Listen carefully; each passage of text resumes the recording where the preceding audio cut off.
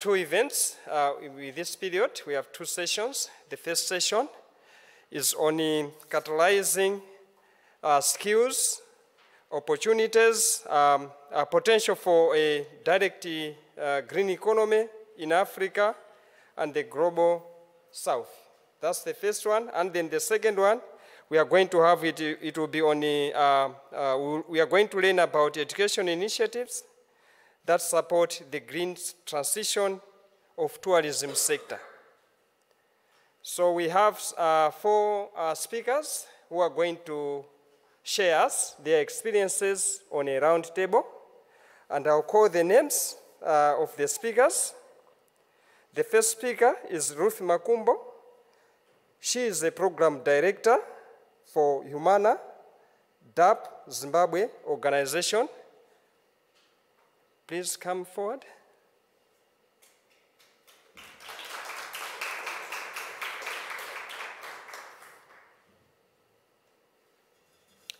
Our second speaker, uh, speaker is Nicholas Ouma, Senior uh, Youth Advisor, African Union Commission.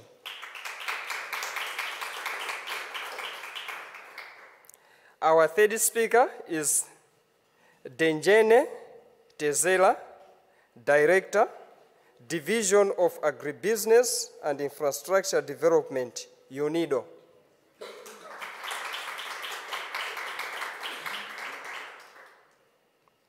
Our fourth and last speaker is Muhammad Sayed, Climate Change Specialist, Development Bank of Southern Africa.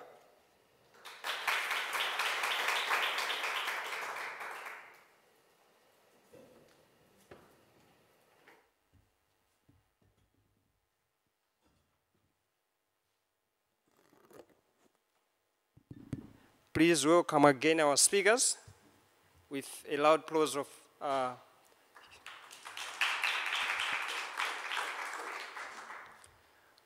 All right, as I've already mentioned, our session is on catalyzing skills potential for a green economy in Africa and the global south. So I have some questions uh, to these experts who are in front of us. They are going to share us some experiences and what other initiatives are there or they are applying wherever they are working in terms of uh, securing that we have uh, the uh, skills in green economy in Africa as well as the global south. And I would like to start uh, with um, Mr. Nicholas Ouma. I have a question that he is going to uh, respond. So, Mr. Nicholas, why is it important to bring skills development to the forefront of the climate agenda in Africa? And how is the African Union supporting member countries to promote green growth through this development? Thank you very much for the question. Uh, why do we consider it important to build skills? I have a few points on this. The first one is building a workforce for a green economy. The transition to climate resilient economy requires skilled workforce across various sectors, including renewable energy, sustainable agriculture, climate smart infrastructure, and resource management. So definitely investing in skills development ensures that Africa has the human capital that will be needed to implement climate action plans and capitalize on emerging green jobs. So we need a workforce for a green economy. Secondly, we also need to mitigate climate change and build resilience. Uh, skills development can equip individuals and communities with the knowledge and tools needed to adapt to the impacts of climate change. Uh, Africa is among the continents that have faced very adverse effects of climate change. And it is important that there are adequate skills that will enable uh, the citizenry to mitigate this climate change and also build resilience. This includes, as I've said earlier, skills in climate smart agriculture, water management, disaster risk reduction, and also resource conservation. So by investing in these skills, Africa can, Africa can reduce vulnerability to climate shocks and build a more resilient uh, future. The, my third point is creating jobs and promoting economic growth.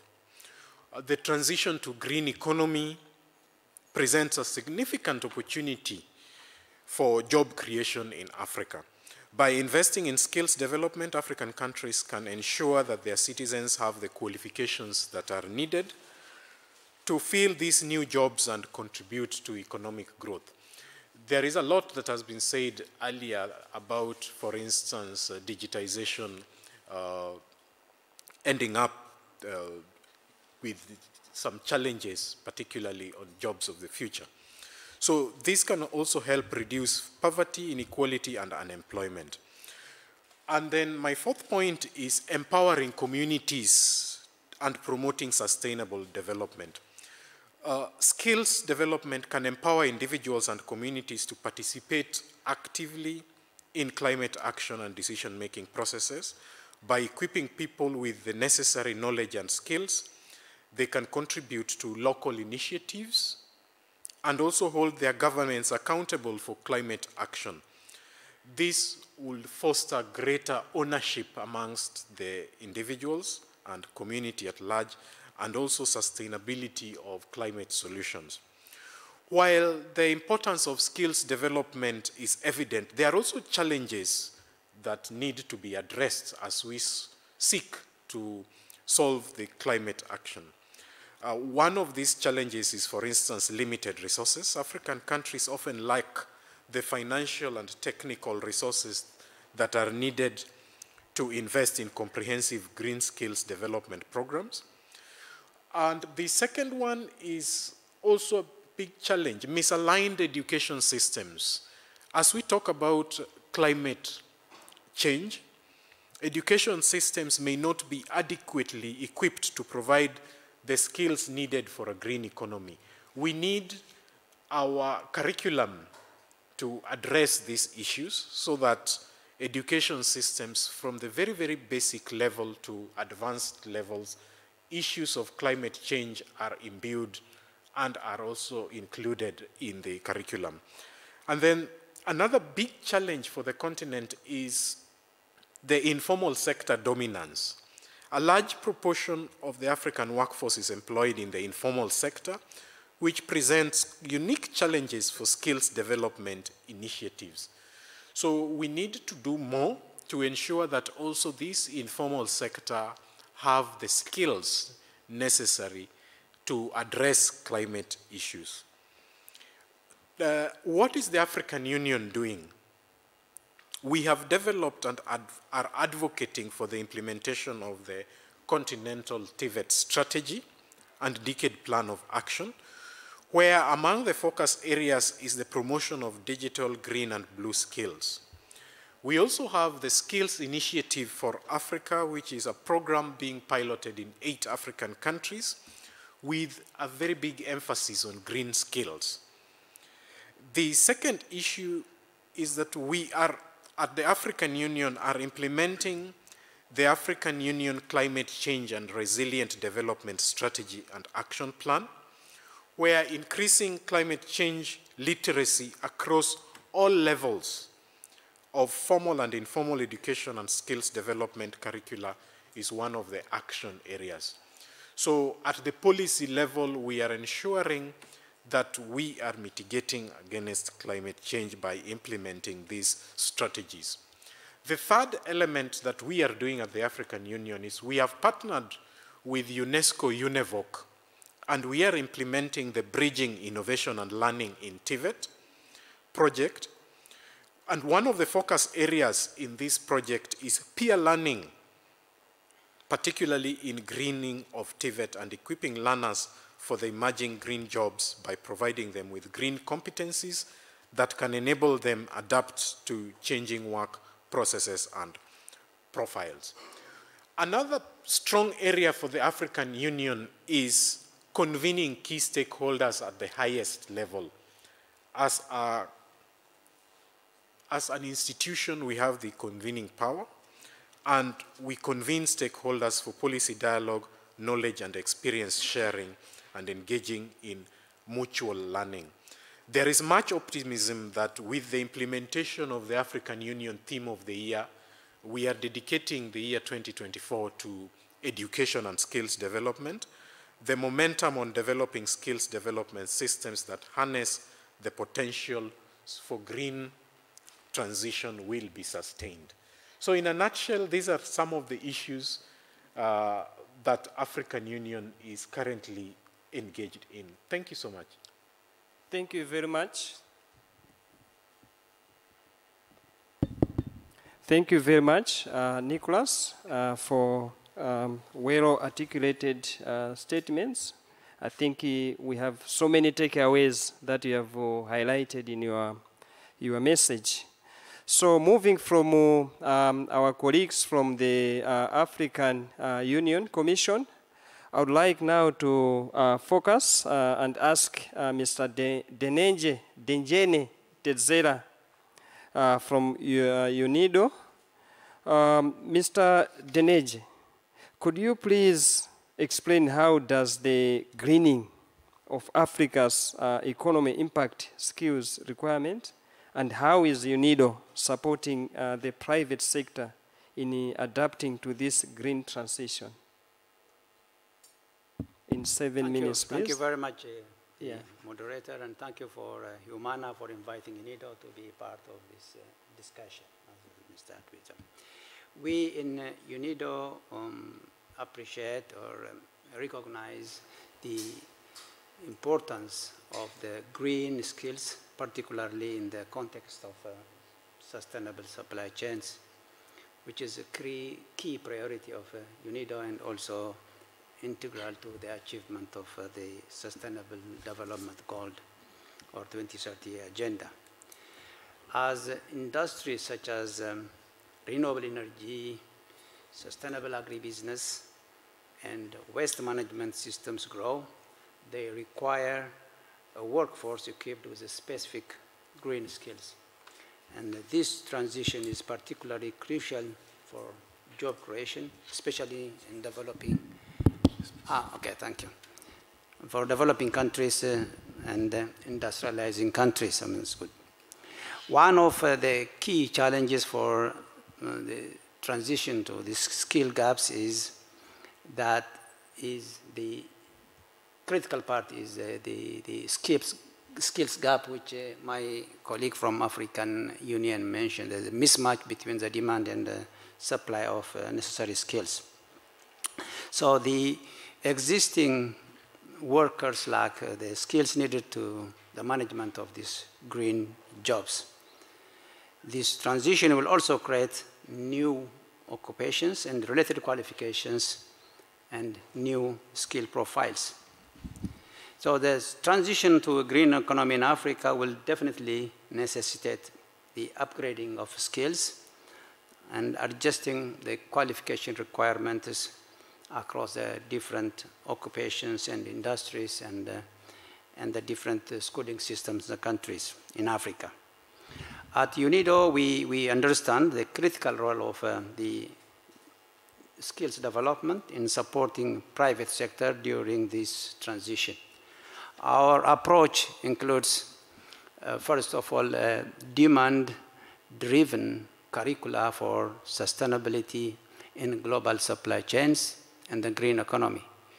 We focus on curricula and training programs that are directly aligned with the needs of the green economy and also the needs of the private sector.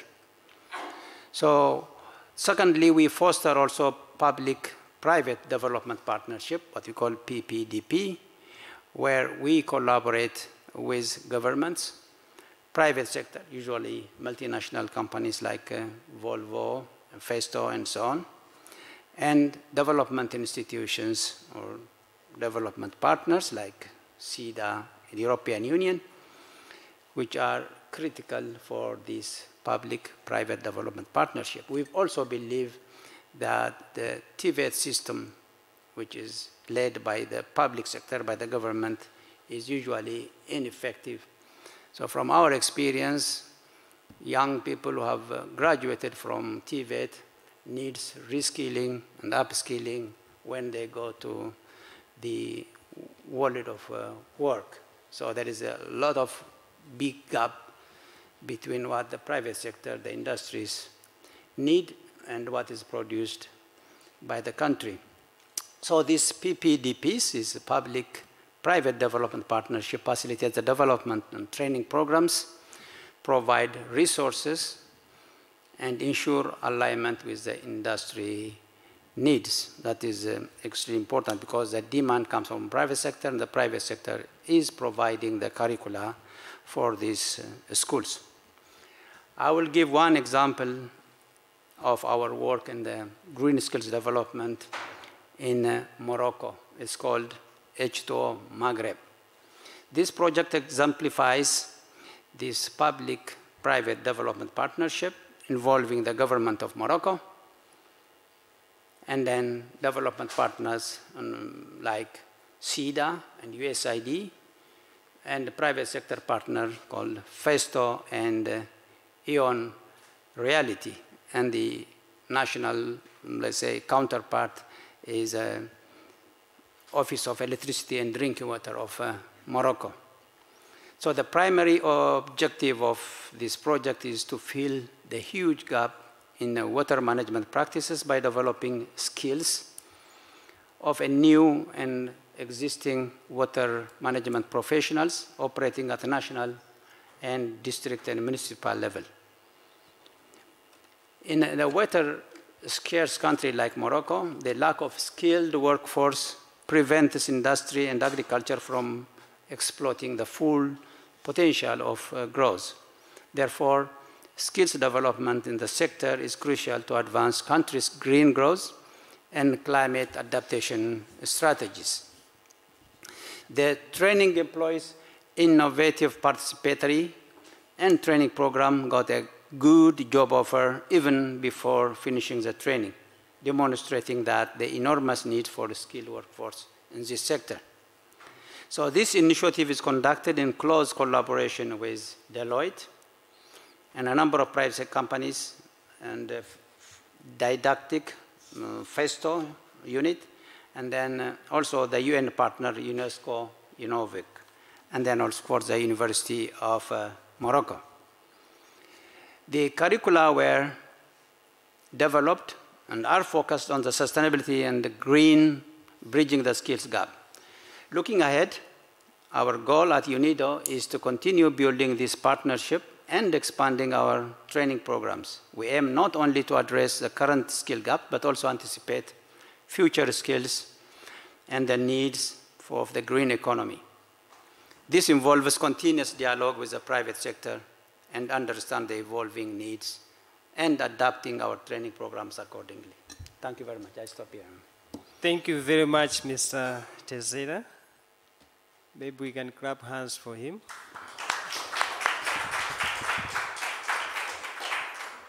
Yes, we have heard from the public uh, and also from the private side. We also have uh, the side uh, to hear, from, especially from the civil society side. And then we have Rufi here, uh, who is uh, part of the civil society. Um, I have a question also for you, Ruth. Uh, my question is, what key challenges do you identify at the local level in achieving a just green transition? And how is uh, Humana addressing these challenges through its TVET um, colleges? Thank you, Enoch, uh, and good afternoon. So, as Humana, we operate 16 TVET colleges across eight countries in sub-Saharan Africa. While each TVET it offers courses which respond particularly to the needs of the areas where it serves, and all the schools, they comply to the frameworks and systems of those countries. There are two common features across Humana schools. One, it provides opportunities to vulnerable groups in rural and remote areas in our pursuit to complement the government efforts and leave no one behind. And number two, all the schools, they are embedded within the communities where they are, and so that we reach the, the, they're embedded within the communities to serve as hubs for wider development. And coming to your question about the challenges, there are so many challenges that are common across the Humana Schools network. Number one is about climate vulnerability. Rural areas in sub-Saharan Africa are particularly vulnerable to the impacts of climate change.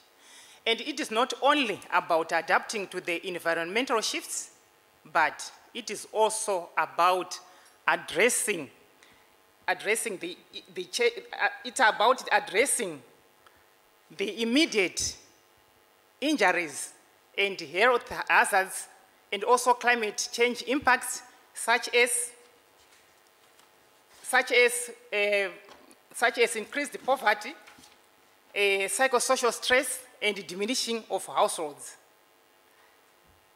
Adapting to climate change and facing these challenges while pursuing for green transition is a big task. We can give an example of Cyclone Idai, which happened in 2019. It was the worst tropical cyclone to affect Africa and also on record in the southern hemisphere. The storm caused catastrophic damage and humanitarian crisis in Mozambique, Malawi, and Zimbabwe. For example, the educational institutions, including the TVET colleges, they lost days of classes due to the damage of infrastructure. And the students also lost days of classes as they returned home to their villages and they took time to resume classes.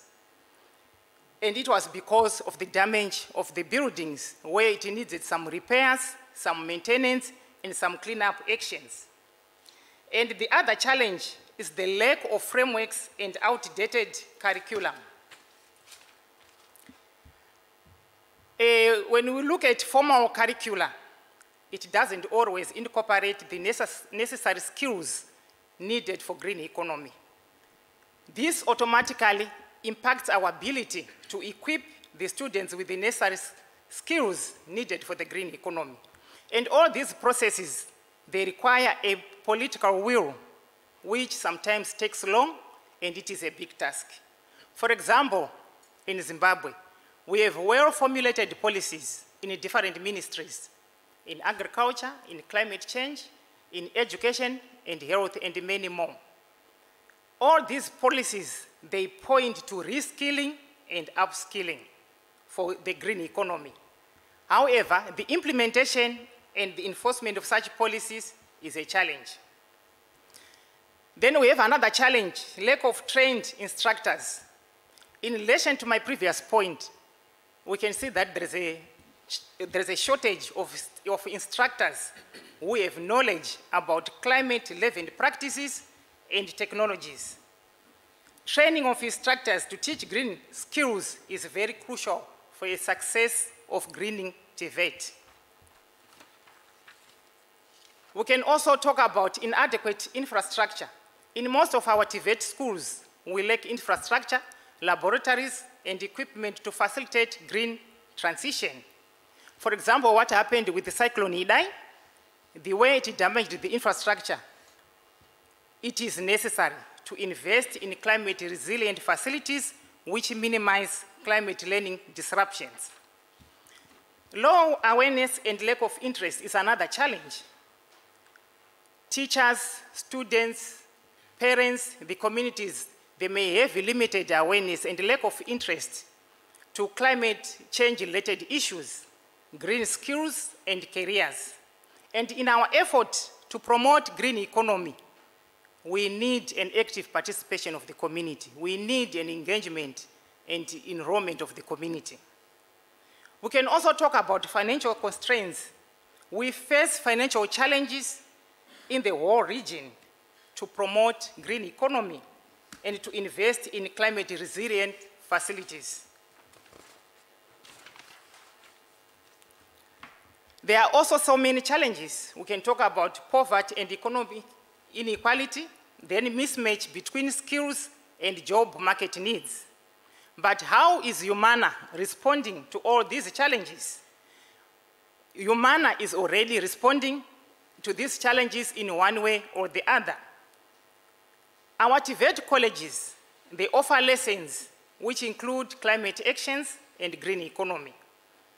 For example, Humana offer courses in key sectors of climate smart agriculture and food production, renewable energy, and water management, and more. We can give an example. In Guinea-Bissau, we have a green climate fund project which will see us training more than 450 youth on climate resilient agriculture, climate resilient livelihoods, and post harvest technologies and practices. We teach also needed skills that are in demand and are sustainable. And we provide students with, with mentorship opportunities. We also talk about raising awareness and community engagement. Here, we organize open days where we mobilize people to plant trees and we also mobilize the households, families to use firewood saving stoves in order to reduce the cutting down of trees.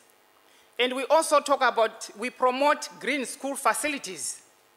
Here, some of our schools have already installed solar panels, have already constructed biogas digesters, and also implemented resource management.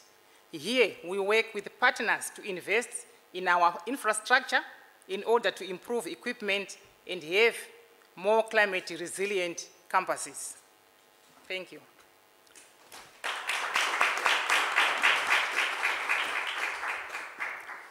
Thank you very much, Ruth. I think uh, the audience has heard um, about how we are doing in, uh, in the side of civil society and how we are contributing to green economy.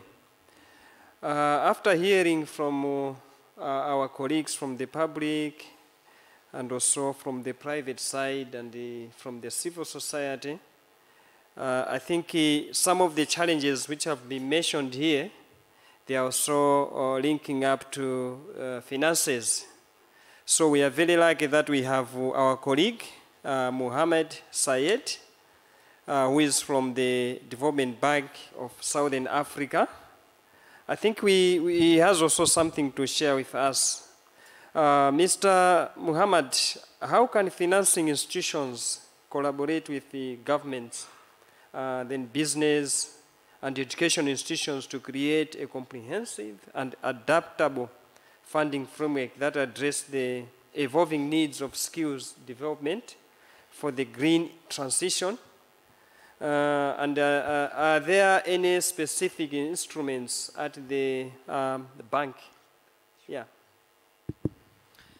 Thank you so much, and uh, thank you once again to uh, the organizers for inviting me and just to share, you know, perhaps a different perspective, you know, from a development finance institution. Um, we, are, we, of course, fund uh, projects, infrastructure projects, but we have historically, you know, looked at various capacity building initiatives, including skills development in the green sector, and I'll share some examples of what we've done in the past and some key lessons that we've, uh, we've learned through that, and then some current initiatives as well, uh, which I thought, you know, would be quite useful to mention. But I think what my fellow panelists have highlighted is skills is obviously an important part of the ecosystem. Uh, you know, without the necessary skills, you can have as much climate finance that you, that you need. And uh, you can have, you know, as, uh, as mentioned earlier, the right policies in place, but you won't be able to effectively execute these projects without the right skills. And you have different types of skills that, that are required. And I would like to focus perhaps on, on one specific area we've been looking at as DBSA through the Green Fund, which is a national fund we've managed in South Africa for the last uh, couple of years. And um, a couple of years ago, we saw a specific need to support skills in terms of uh, green businesses. You know, um, encouraging young entrepreneurs to enter the green sector and to help transition South Africa to a green economy. And that required, you know, specific set of skills in terms of green businesses. And we all know that green incubators or business incubators have always been around. And um, there's always a need to equip young entrepreneurs with the skills to develop robust business plans, to understand, you know, the markets, do market analysis, etc. So you can imagine the specific need when it comes to a new sector like, you know, the green economy. And um, so we saw a need back in 2015 to support green incubators, and we looked at both uh, incubators that are supporting uh, entrepreneurs that are trying to advance innovative technologies, green technologies, as well as uh, kind of more the informal sector and, and young graduates from high school, or we call them high school, but it's, it's a secondary school in South Africa, mm. but also graduates from your universities of technologies in order to equip them with the necessary skills to, to start a green business. So we've, we've uh, you know, had quite a lot of success in terms of training these young entrepreneurs in that space through these green incubators. And what we found was, while there is still a strong need to, to offer that type of support, to offer mentorship, training, on-the-job experience is quite key. On-the-job training, linking with business, as you correctly pointed out, is quite important in order to link up uh, those young entrepreneurs with, with the right um, industries. And the other key lesson that, that came out of that intervention was uh, the need for more coordination. So currently, you have funders, you know, funding specific areas, and they have very specific mandates. So you have incubators, you have climate accelerators, then you have funders that support, you know, the commercialization of um, technologies, uh, climate technologies, or taking a business to, to the next level. But they all play at different stages of the development, and often what happens is that young entrepreneurs, you know, uh, apply for funding, they get funding to a certain point, and then they're stuck. And then you'll find, you'll find that a lot of these entrepreneurs, unfortunately, cannot proceed, uh, you know, anymore because they, they're not linked up with the, the other types of funding that is required. So it's very important to have coordinated efforts to fund the, you know, the entire innovation value chain. So I think that's, that's a key area that, that we feel is, is, is quite key. In terms of current initiatives that the DBSA is involved with, uh, we are currently looking at uh, what we call D-Labs. These are specific precincts in, in, uh, set up in various communities, and I think um, the panelists have mentioned the importance of getting the communities to be involved. So what we've decided to do was to establish um, a platform or spaces where communities can acquire specific skill sets as well as opportunities to um, also establish businesses in, in, in that space. So it becomes a self-funding uh, precinct. Um, uh, obviously, you, you, need some initial funding to, to get things going. So we see a lot of opportunities for, you know, let's call it green precincts, where you can have opportunities to train communities on specific areas when it comes to, for example, uh, let's say renewable energy. So if you have communities that have traditionally been exposed to or dependent on fossil fuel-based, uh, um, uh, you know, uh, uh, operations, we have now an opportunity to use these precincts to reskill and, and uh, repurpose, um, you know, those operations and, and, and ensure that the skills in those communities are now uh, transition to, to obviously the renewable energy sector. So that's just one specific kind of intervention mm. that we're currently working on, and we see, as I said, lots of opportunities to try and um, focus more on, on the green sector. So I think, uh, in short, uh, my main message is I think there is a lot of coordination required with, with government in terms of the enabling environment and policies, um, as pointed out earlier as well coupled with the right finance, which, uh, which we offer as a DFI. So we offer a lot of catalytic finance for, for, for, for green businesses as well as projects. But um, the skills is obviously quite key as well, and the linking up with um, colleges in order to understand what are the needs in terms of advancing these green businesses and these technologies um, to support the green economy is, is, quite essential. So without that coordinated effort and strong networks, um, you know, it, it will be very challenging. And I think that's something we're trying to push from, from our end as well. Thank you.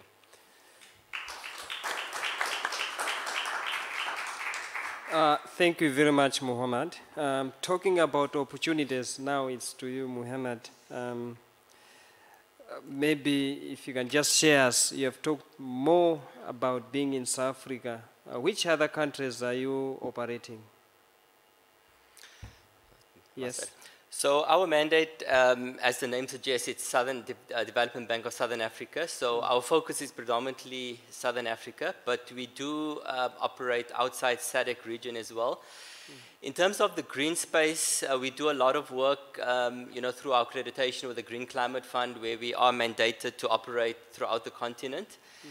And more recently, um, we've expanded our accreditation with the Global Environmental Facility to cover the rest of Africa as well. So we see huge opportunities, um, especially with the GEF on trying to encourage, uh, you know, nature-based solutions. And I think there's a strong need as well to get youth involved in that space and identify opportunities for nature-based solutions, um, you know, in that, in that area. As I mentioned before, some of the examples I, meant, uh, I mentioned are specific um, incubators in South Africa, but uh, there's another incubator that we supported historically, the Climate Innovation Center, which was a, uh, a global initiative where I think Kenya was, was kind of the hub for, for that center.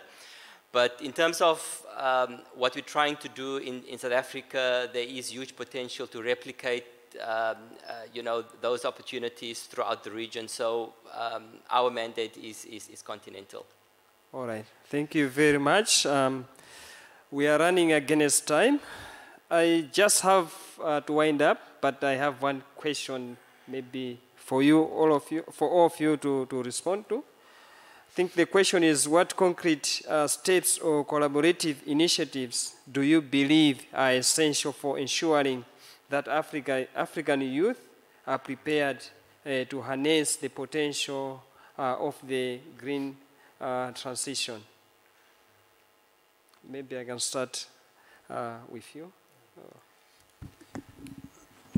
Thank you very much. I think the first thing is we need to establish a very strong partnership with the private sector, which is uh, the main employer of uh, people with uh, skills. So in UNIDO, we work with different um, private sector companies, multinationals like uh, Volvo, Scania, Hitachi, Komatsu, Toyota, and so on, mainly also on, on green jobs. This is one area which we have to. The other area we have to work is integrating green skills in, um, in all curricula. As you know that there is a constant change in the needs of skills, and then we have to work um, with the government in, uh, in developing the right curriculum for green skills uh, development in TVET. The third one is the scaling up of training programs. As I mentioned, we have um, demonstrated in a smaller scale the potential of partnership with private and public sector in green skills development. So we want to expand that one um, to, to a larger scale, again, through partnership where we need resources from private sector as the public sector finance is not good enough for transition. The third one is uh, supporting learning across um, borders in different countries. We try to take this experience from one country and uh, contextualize it to another country to scale it uh, up is extremely important. And finally, training of trainers. As we all know, the skills um, lifetime or knowledge lifetime is now mm, 10 years, so the half time is five years.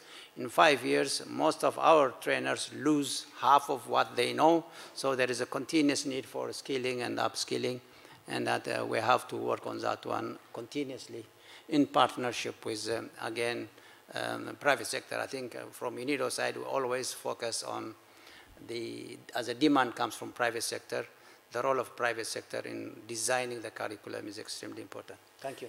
Thank you very much. Ruth, in 30 seconds. yes, thank you. We need to look at awareness raising and community engagement. Here we are saying that it is very important that we work with, closely with the local leaders and the community-based organizations to raise their awareness, understanding, and support the green education programs. And we need to promote the public and private partnerships to develop and implement green education policies and programs, and to ensure that education is market relevant and it addresses the environment challenges. Here, we need also to include the non-governmental organizations and the community-based organizations.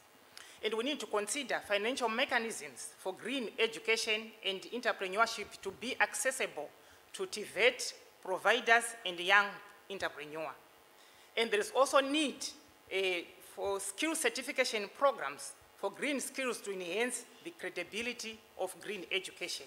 And lastly, I think it's good with the promotion of South-to-South -South cooperation for exchange of good practices that are applicable in the context where we work. Thank you. Thank you. Nicholas, 30 seconds. Thank you very much. I just want to echo what my colleagues in the panel have said. Uh, number one is on education. Uh, I want to re-echo the need for uh, uh integrating sustainable education across the curriculum at all levels, incorporating environmental topics uh, across various subjects like science, uh, technology, engineering, maths, STEM subjects, uh, promoting environmental literacy across the lifelong learning ecosystem by engaging particularly young people in interactive learning experiences and also media campaigns. We really need to take advantage of media to ensure that we are, uh, we are heard, our voices are heard. Number two is skills development, facilitating practical training in green technologies Ruth mentioned the value of uh, TVETs in this. I want to re-echo the same uh, through STEM education and other hands-on learning experiences. Then the third one is empowerment and participation, creating platforms for young people and forums for debate and contribution so that young people can also contribute to the policy space and policy decisions, and also supporting youth-led initiatives and projects of course, my colleague also mentioned the issue of offering fund, funding, mentorship, and also resources to enable young people to implement their own green ideas and also solutions. Thank you so much. Uh, Muhammad, if you have 30 seconds. Yeah, and I think a lot what I wanted to mention has been uh, mentioned already in terms of awareness. Uh, although I do think, you know, the, the youth are more aware than what they were, let's say, five, six years ago. Um, so I think, but I think there's still a need for for awareness around the opportunities uh, in the green economy. Um, I think more support at the ideation stage. I think youth are not uh, polluted, you know, by preconceived, you know, um, uh, ideas. I think they come with fresh ideas. They come, they think out of the box. So I think we need to encourage that and support those ideas to be translated into, um, you know, strong plans, business plans. I think finally, for me, it's, it's about linking finance with enabling environment, a, favorable policy environment, and then very targeted capacity building initiatives. I think that's the key. Thank you very much, uh, our great panel. Uh, it has been uh, good and nice to be with you and also hearing from you all the messages and also the experiences that you have shared with us under this catalyzing skills potential for a great uh, a green economy in Africa and the global south. Thank you very, very much.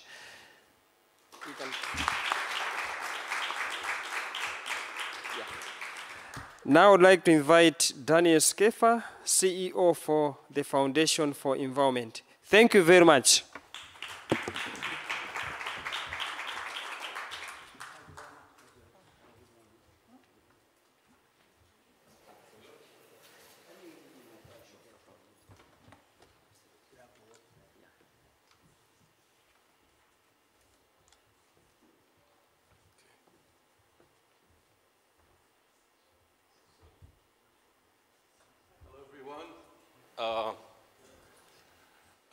Daniel Schaffer. I'm the CEO of the Foundation for Environmental Education. And uh, we wanted to talk about how education can uh, manifest itself in terms of uh, vocational education and youth training and uh, in, in relation to environment and climate change.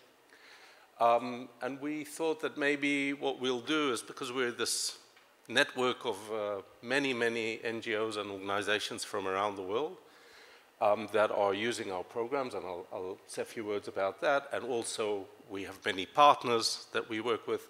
Maybe we can um, have this second part of this discussion at a bit of a lower level, uh, not so much about the policy or, or um, the policy making, but just give some um, nice examples and stories about things that are happening on the ground um, that are a uh, example of how we can uh, work on training youth and giving them the skills to have a better uh, future within the workplace um, and so on. So just about ourselves, we're, we're this uh, organization that has been around since 1981. Uh, we've got about um, 105 uh, organizations that are members, uh, and through the membership, they get access to our programs.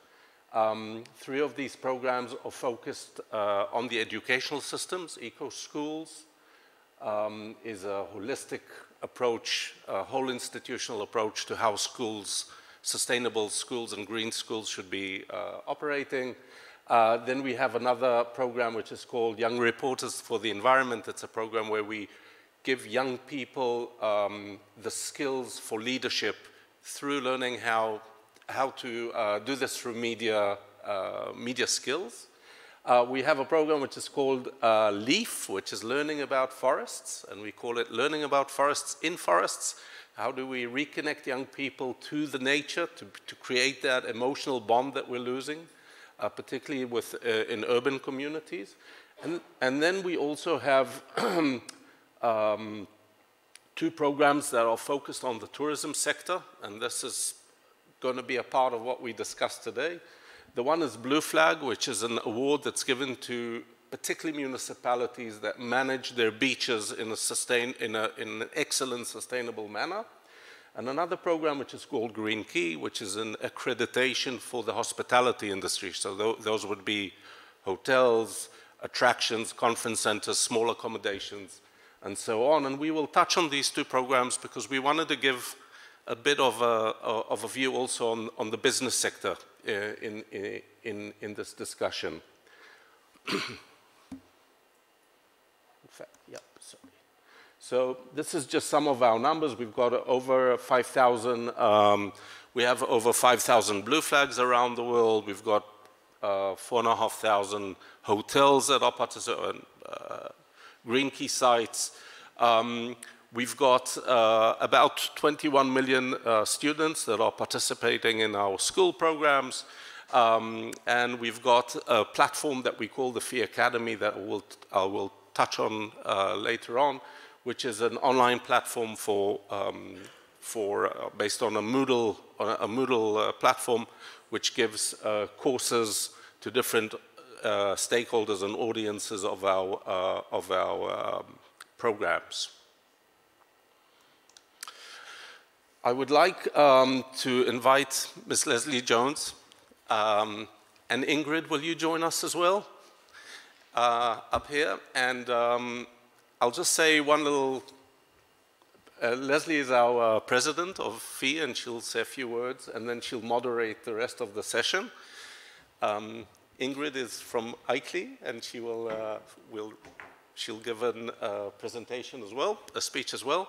And I apologize, we've got two videos that we will share with you because people that we hoped would be here during these dates, by the time we knew when the event is going to take place, were un unable to join us physically, so they sent us uh, videos, and we hope that we can uh, share, share these uh, stories with you through video.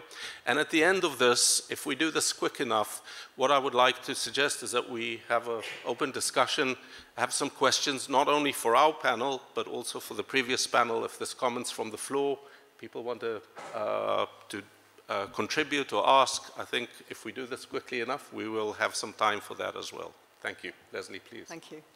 Can you pass me your iPad? We're, we're doing a double act here. Yes. Um, okay, so can I say welcome as well to all of you um, from the Foundation for Environmental Education. I've just been asked to sort of set the scene um, um, um, with a few comments that will lead then into the questions that we're going to ask afterwards. So I would like to start by saying we are at a highly significant moment in the history of our planet. And one of my optimistic quotes um, from President Obama is that we are the first generation to feel the impact of climate change and the last generation that can do something about it. So that is why FEE launched our strategy for the decade, Gaia 2030, in 2021, focusing all our work through our projects and our programs on empowering climate action, protecting global biodiversity, and reducing environmental pollution. The future of our planet relies on a green transition towards an environmentally sustainable economy. And this future economy will be one that addresses the causes of climate change, biodiversity loss, and environmental pollution, whilst fostering economic growth and social well-being. It will entail a transformation in the ways we work and live and the jobs that we do. This green transition must also be a just transition, one that supports good quality jobs and decent livelihoods, creating a fairer and more equal society in all parts of the world. Young people today are only too aware of the urgent need for this transition. They are leading advocacy and activism processes, calling for accelerated change in energy production, consumption patterns, and resource usage. They want to grow up to work in areas such as renewable energy, sustainable tourism and agriculture, marine conservation, eco-friendly construction, and many more that don't even yet exist. Jobs which prioritise environmental stewardship and social justice and contribute to building a fairer, more sustainable and resilient economy. As adults, professionals and leaders, Our job is to transform and prepare our business sectors, putting sustainability and environmental management at the heart and centre. The Blue Flag and Green Key environmental accreditation programmes, which fee run for the tourism and hospitality sectors, are leading the way in supporting this transformation. As Danny has mentioned, with over 5,000 marinas, beaches and tourism boats and over 4,500 hotels and other establishments awarded by fee in over 60 countries around the world. It is clear that professional practices and operations are already changing as new sustainability standards and skills emerge. But a green and just transition isn't only about our economy, it's about our education. Education systems need to be reorientated and refocused to prepare this green future workforce. This will entail curriculum adaptation to reflect emerging green industries, the alignment of subject areas and course content with the knowledge which young people will, will require, and the provision of relevant practical hands-on experiences and skills. As a sector, TVET is at the forefront of this process, and as lead partners of the greening as lead partners of the greening education partnership a UNESCO initiative the foundation for environmental education aims to scale up our support for TVET institutions in this agenda. Teachers are the key enablers in this process and comprehensive teacher training programs are needed to equip educators with the knowledge skills and resources to effectively integrate sustainability concepts and environmental awareness into teaching practices. Our ESD programs, Eco Schools, Eco Campus and Young Reporters for the Environment offer the frameworks and 30 years experience in this work. As you will hear from our panelists and our um, guests on video later, new opportunities are being found to integrate this, this ex expertise within, within our sustainability, education and tourism programs to foster cross-disciplinary learning and provide practical applications for green skills. So without further ado, I will hand on to um, our first um, panelist and guest for the day. Thank you. As I said, we're doing a double act. Yes. Um, and, um, which I've just now lost, Danny. sorry. So Here we are, I can see it. Can you get this, rid of this? There you go. Thanks. Um, so Ingrid, Ingrid Coetzee is director, and welcome Ingrid, director of biodiversity, nature and health at ICLEI, the local governments for sustainability. And our question for Ingrid is, what type of skills local governments are looking for and how to communicate these needs to youth audiences having no or low access to the green job market. Thank you, Ingrid. Th thank you so much, Leslie, and it's really a great pleasure for me to be here. Um, not just because um, youth and skills development is such an important thing, but also because we have a, a really long relationship with FEE and with Blue Flag. And um, I must say, it did occur to me then when you were looking for the, the, slide that that's why we need youth. Yes. Because they understand the IT and all of that. Um, so what kind of, of skills do we need from the youth? I think it's more than just skills. Um, I think we need the, the, the energy and the enthusiasm of the youth as well. Um, and when we, as a, as a city network, um, and we have uh, more than 2,500 cities around the world, um, when we advocate the, the voice and the ambition of, of cities and, and other levels of subnational governments, whether it's in the climate space or you talked about the, the, the new plastics treaty or the biodiversity space, um, it's always very, very important to make sure that we address not just the sort of content issues, the plastic pollution or the biodiversity loss, but that we also look at it from the perspective of intergenerational equity. So cities are really interesting places because they're often seen as where, where many, where, that's where the pollution comes from, or that's where, as a result of urbanization, our ecosystems are destroyed. Um, but cities are also very much um, hubs of innovation and of solution. And cities are where the young people very often, often live, and they go to the universities or they go to the schools. And I think it's, it's interesting to see that within our own organization, we have an increasing number of younger mayors, young leaders coming in. And that is, that is really important because they are the future. So, so when we look at the skills, I, I think it's partly around the skills of advocacy, the skills of how to express the ambition and the priorities and, and what, what it is that the next generation and the, and the citizens want. Um, and let's face it, in, in my own continent, continent, I'm an African. I live in Cape Town, at the bottom of the world, as we always say. 60 between, depending on who, who you listen to, but between 60% of the African population is below the age of 25.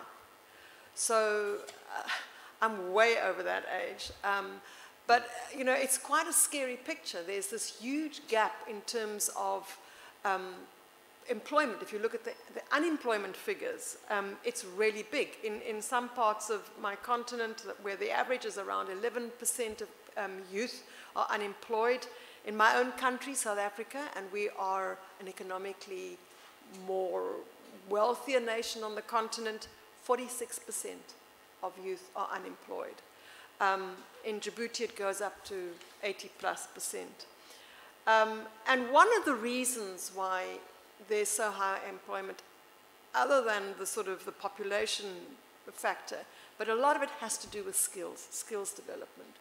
So, so advocacy and and making the voice and the ambition of the youth, the next generations, and making the links between the older generation and the young people is, is really important. Um, and it's an interesting little anomaly for me that we have, we've got the youthful continent, but we're also one of the oldest, we, you know, the origins of humankind are from Africa. And I think it's really important that we maintain those links of, of, between the young people and the old people. I think something else that's really important is um, business skills. In the previous panel, we were talking about um, business skills. My fellow South African was talking about what we're doing around the green economy um, and entrepreneurship young people are not scared to take risks. I'm very scared to take risks. I've been around this block many times. But young people are not prepared to, uh, scared to take risks. And we need to create the, the, the, the programs that will help them see where, you know, what are the best practices? What are the, how do you navigate the bureaucracies? How do you understand what, what the investors are looking for? Um, and particularly within in the tourism sector, I think it's, it's an area, in, in, certainly in, in the southern parts of Africa and East Africa also, tourism is a very important component of the GDP and of job creation and employment creation in the country, and that tourism is linked to nature, whether it's a game farm, whether it is um, a beach or whatever. So there's, there's this nexus of youth, skill, tourism, and, and nature. Um, I think something else that's really important is um, building skills in how to take decisions and how to be accountable. They are the future. They're going to be the next mayor or the next governor or whatever the case may be, or they may just be a concerned citizen. And it's understanding how democracies work, how decisions work, how to develop budgets, how to integrate planning as well as budgets and reporting. So I think that's also, also a very important thing. And I think um, finally, for me, what is also something important is the implementation skill. How do we take ambition and making decisions around policy frameworks and our ideas, entrepreneurial ideas or whatever, and actually implementing? And for the implementation is, you know, there's always, uh, we always say that Africans, particularly South Africans, we're very good at making laws. We've got some of the best laws in the world, but it all fails at implementation. Why? Because we don't necessarily have the skills, the project management skills. We don't have always the stamina in terms of monitoring and those corrective loops, learning from our monitoring. Where did we go wrong? How can we fix this? How can we be more accountable? Thank you. Thank you very much, Ingrid. Thank you. I think that the, the sort of complexity, but that importance of that holistic approach, looking at all aspects of the skill set that's needed. So thank you very much for that, Ingrid. So um, next, I am going to attempt to show you a video. Um, and um, Dr. Stefan Hanselmann is head of the GIZ, which is the German development um, um, funding body um, um, uh, that is working with us and supporting um, some of the work that we're doing um, in Cambodia.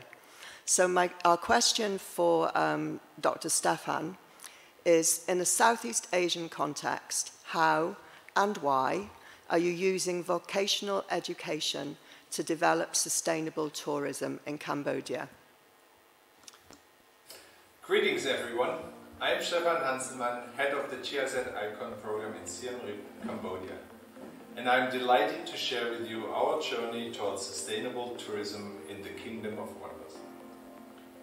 We strongly emphasize vocational education and training as a powerful tool to promote the idea of an industry that is built on quality and sustainability. For our partners from the tourism sector, sustainability is no longer a trendy buzzword. It has, has rather evolved into an essential ingredient for the long-term development of this very important sector. Paying tribute to its relevance for employment and income generation, GIZ ICON strategically uses vocational education to transform industry standards. Our aim? To enhance quality and sustainable practices that meet customer needs, offer genuine local experiences and protect cultural and environmental heritage. To start, we invest in building the capabilities of vocational training institutions. We concentrate on educators and enable them to integrate sustainability into their teaching. This helps to ensure that future professionals are well informed about sustainable practices. Next, and in partnership with the Foundation for Environmental Education, we are leading the way in establishing eco-schools in Cambodia. By collaborating closely with respected hospitality institutions, we not only support innovative ideas and clear guidelines, but also encourage an active approach. Students play a key role as change makers, driving sustainability within schools, rather than simply following traditional top-down instructions. Lastly, we are introducing an internationally recognized label for companies from the hospitality and tourism sector that operate sustainably. Through on-the-job trainings and upskilling of employees, we help to nurture a skilled workforce capable of implementing and maintaining eco-certification practices, making a real difference in Cambodia's tourism and hospitality sector. In the context of Southeast Asia, a region where many livelihoods depend on tourism, our approach centers on recognizing vocational education as crucial in developing sustainable tourism. This goes beyond equipping the workforce with necessary skills. We also strive to foster a genuine spirit of sustainability and quality where the preservation of nature and culture goes hand in hand for the benefit of people and communities.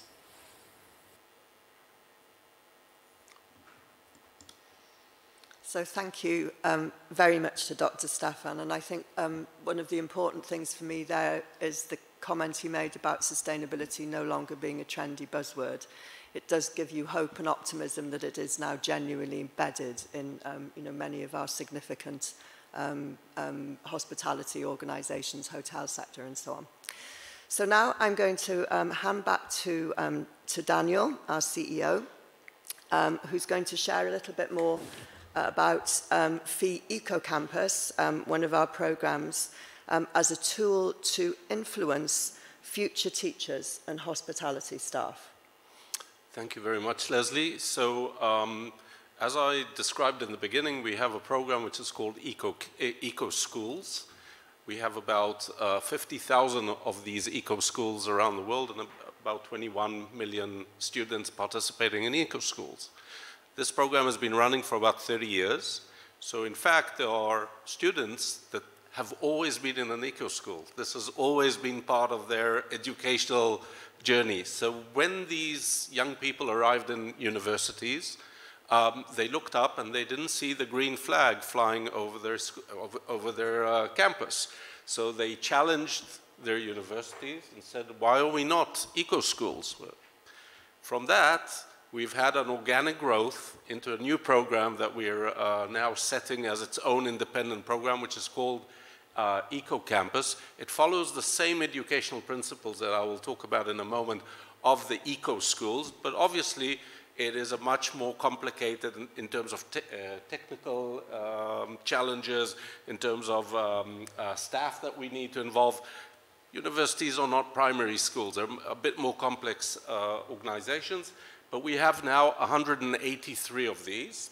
And as FEE took this role of leading pillar one of the Greening Education Partnership, which is focused on greening schools around the world, is Foundation for Environmental Education, um, we started to think what, how, what kind of elements can we bring into the work that we're doing, which is not only on school, regular public schools, but also looking at um, our eco, eco campus program in order to impact future, uh, uh, future employees and, and, and, the working place.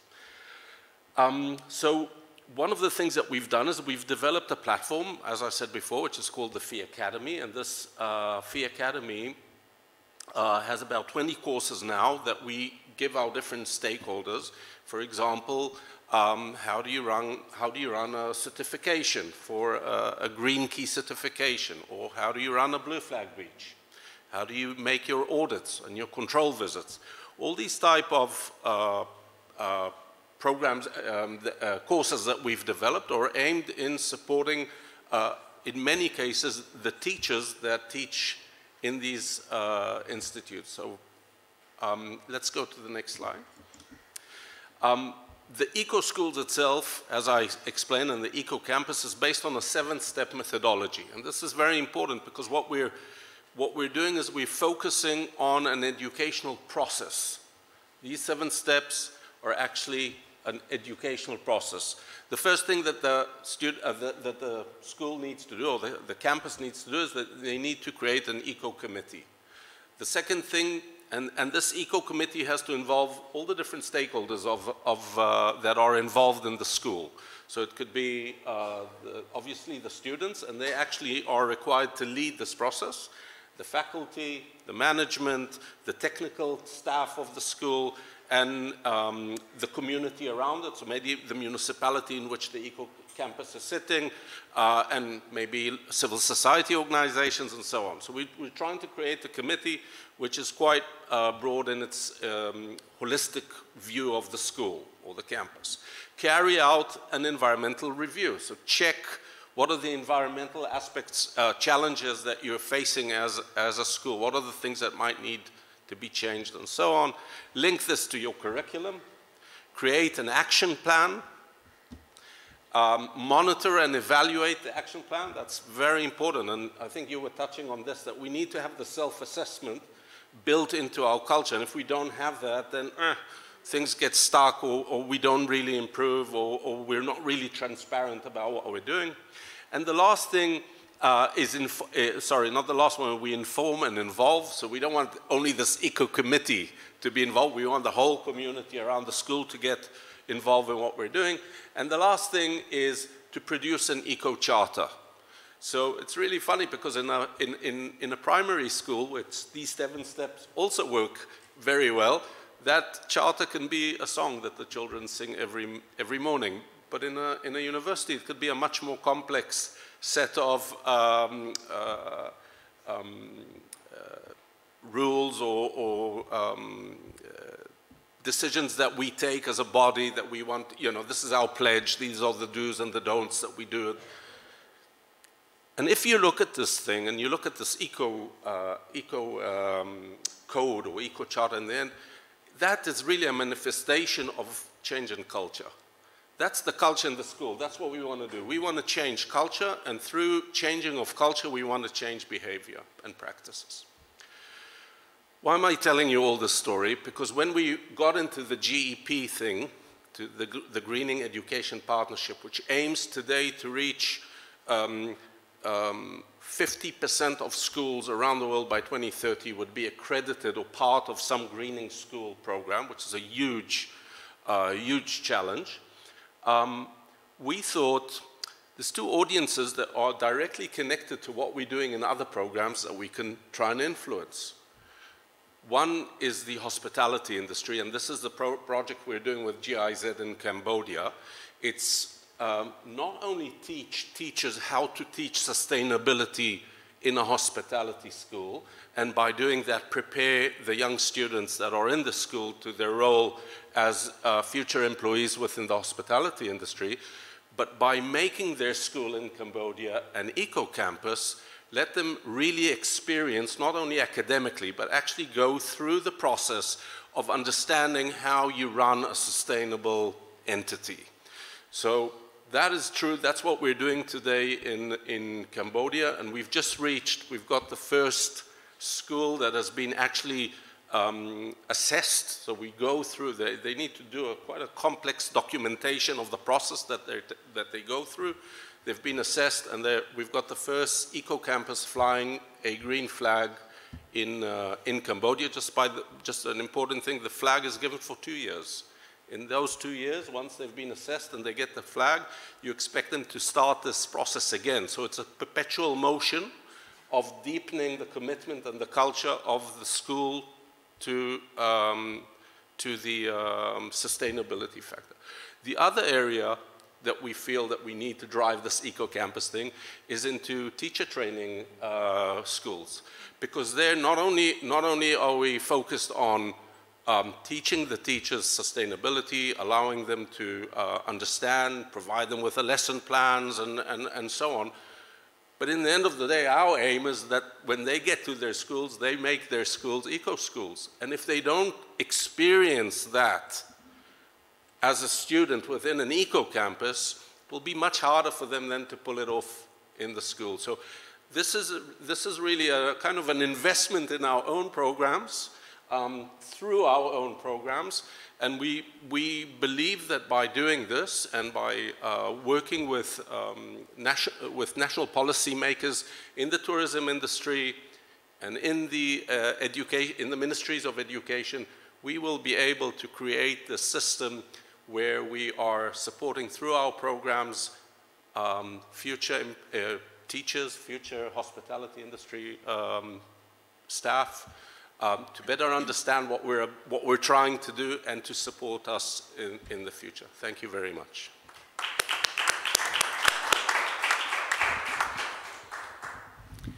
So um, our last uh, presenter um, is another video um, from um. WESSA is our um, FEE member in South Africa, um, one of our most established and important members um, um, within our network. So um, I will now hand over, hopefully, to, um, to Cindy um, to share um, a little bit more. Um, and the question that we've asked is, how has WESSA used its national Blue Flag programme as a vessel to support professional development of marginalised youth in South Africa?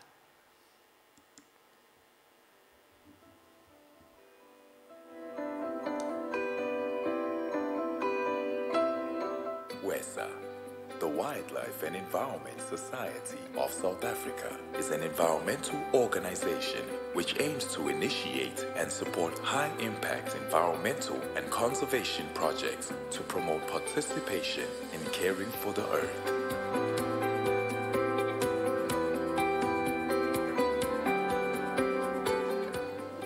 Department of Tourism and the Expanded Public Works Program have entered into a partnership with WESSA in implementing the Blue Flag program in South Africa. And the main objective of the EPWP is to make sure that they create jobs and skills development through the tourism sector. The Blue Flag is a global eco label indicating standards of excellence in the environmental management of participating beaches, tourism boats, and marinas.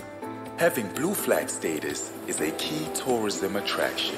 At first glance, it's quite difficult to measure the success of a project that is as big as the Tourism Blue Flag project, purely because of the size of the project and the fact that it's a multi-stakeholder project that is implemented across three coastal provinces. But with TBF, one can easily identify and measure the impact and the success of the project.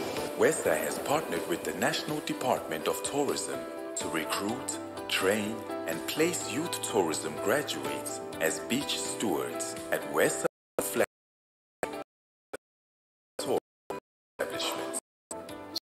Having the students here has um, when they arrive, we put them to strengths and can shine in those strengths. Seeing them grow in their roles and taking on the responsibility and becoming active within the hotel. The mission of the Two Oceans Aquarium and the Education Foundation is to inspire and connect people with nature. And having the Blue Flag Beach stewards part of that environment and bringing their knowledge and their passion and their experience at the beaches the aquarium enhances the visitor experience. With a lot of support, encouragement, and push, I was able to be part of the most integral aspect of the tourism industry. Working for Green Corridor has given me more insight about how tourism industry work. At Green Corridor, I've done so many duties.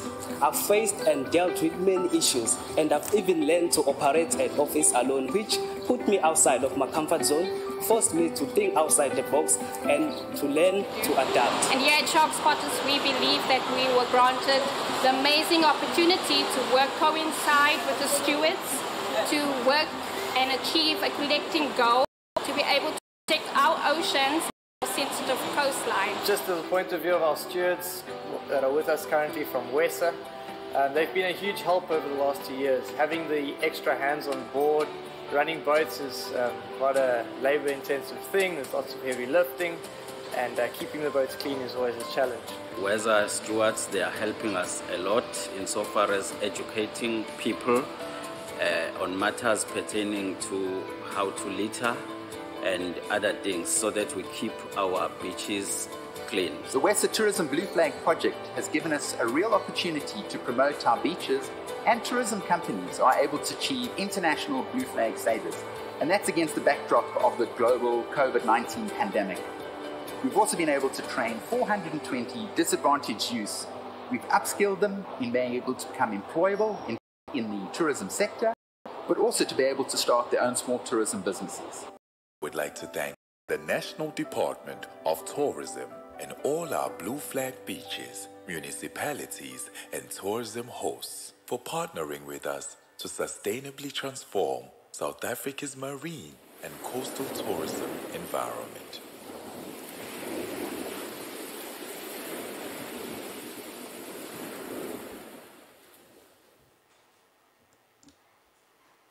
Thank you. So I think an inspiring story and also just an inventive, you know, looking at ways in which a program, which is an eco-label, but can actually be used um, to, um, to, you know, create this wider picture and bring skills for people, particularly in, in this case, in more ma real marginalized communities. Um, so um, that's it from our side, but we have got um, a few minutes. Um, and please, if anyone has um, a question um, for Ingrid or for Danny or for me, um, um, please ask now um, and we will try and answer. And maybe also for the previous panel. We yes, have, sorry, we have, we have, yes. We're still, you're still from, with us, so they if still with anybody us? wants to comment. Ruth is still or- here. I can see Ruth, so. Thank you.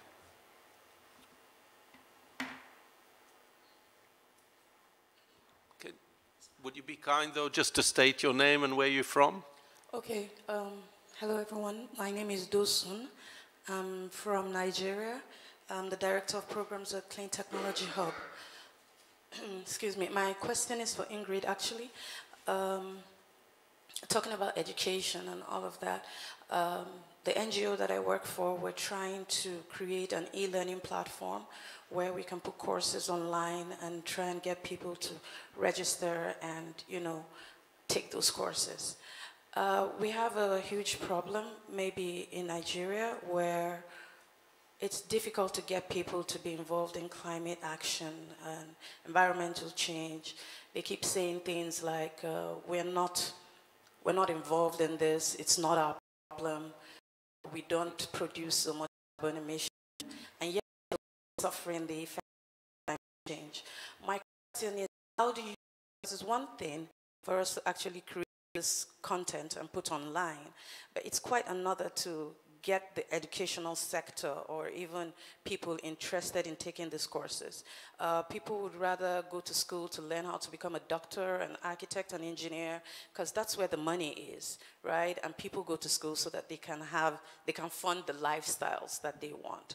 How do you get people, especially in Africa, to be more involved, to see that, well, there may not be so much money, but how do we remove selfishness and start thinking of leaving a better earth or environment for future generations to come? Because that is a problem that we are currently facing now in our hub. The courses are ready, but how do we get people to be interested in these things? Thank you. Thank you, Ingrid. Thanks. That's a really very good question. And it, it's a huge problem throughout our continent where people think that it's the lawyer, the doctor, and the engineer um, that, you know, they have this idea that that's where the work should be. So, so one of the things that, that we do is we work with, um, with our cities very closely. We get the political leadership, and often they have the community structures through their wards and their political representation that they have access to youth groups or to women groups or whatever. And we've just started a program, a project now a little while ago called um, AfriFood Links, where we've introduced the system of youth ambassadors. And we're in, we're, so we did a call to get these youth ambassadors to come up. There's a cohort of, I think, five at the moment, and ultimately we hope to have some more. Um, and, and really, it's about getting the young people to become involved in this project. It's about food and, and nutrition.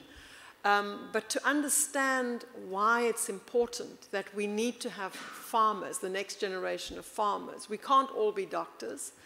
Um, we do need to have farmers, we need to have nutritionists, we need to have people working in the food industry. Um, and it's really teaching them through learning and through working with, with an organization like our own and exposing them to international platforms and to what happens at cities um, to a new world out there of different types of work so that it's not all of us getting a, a, qualification and then ultimately also becoming unemployed because there are only so many doctors and, and engineers that we need. So that, that is one way. Um, and I think those, those initiatives that we've run, we've worked, for example, um, in the past with um, Gibbon, which is the Global Youth Biodiversity Network. And they have branches all over, and they, they run a very similar sort of process. Um, I think something else that we do too is when we implement projects at the city level, for example, it might be a biodiversity project or it can be an energy project or climate resilience project, we always involve, we have the sort of whole of society approach. So we definitely, we work with the mayor and the political leadership, the technical leadership, the other levels of government, the national ministry, etc but we always bring on board the, the stakeholders, the beneficiaries, the people that are most affected. And we start, we help facilitate that dialogue. Um, there was a project some years ago where we were working in Malawi, um, in Lilongwe, where there was a huge issue with a polluted river. And along the river, there was a massive informal market. Um, and the, the planners and the engineers didn't they didn't dare go in there because there was so much animosity and tension between the, the, the, marketers and the traders and the people living there and the, the sort of decision makers and the mayors and the planners. And through a process of dialogue and talking and getting together, we got them to understand each other's different agendas. And they came up with their own solution. They cleaned up that market, they organized themselves, it was youth, it was um, the, the old people, it was the women, um, it was uh, the tomato growers, um, and they came up with a solution out of their own that the city could live with. And so those are the sorts of co-production types of things. And, and yes, skills training. We also have a platform, but you're right, it's not easy to get them. Yeah. Thanks, Ingrid. I think, Danny, you just want to add something? I, I, want, I want, to make a maybe a philosophical uh, comment here, because this is something that I just heard what you said. I, I think that we need to, um, when we're talking about climate justice, we need to stop doing this them and us. It's not, it's not contributing anything to it. If you're living in the north, you think you, and, and you part of this consumption self, uh, very selfish sometimes uh, culture, uh, it's not my problem, it's the South's pro problem. If you're in the South, you say, well, I, not, I'm not causing, somebody else needs to deal with it. I don't think this is, I, under, I understand the complexity. I'm not, I'm not saying that justice is not part of it, but I think that dividing our problems into them and us is not the way to solve this problem. Thank you. Now we've got less than a minute to go, so I think we'll um, draw it to a close. Um, thank you all very much indeed um, for your participation. It's been good to work with you as well, Humana. Um, and um, thank you very much for coming along today. Thank you. Thank you.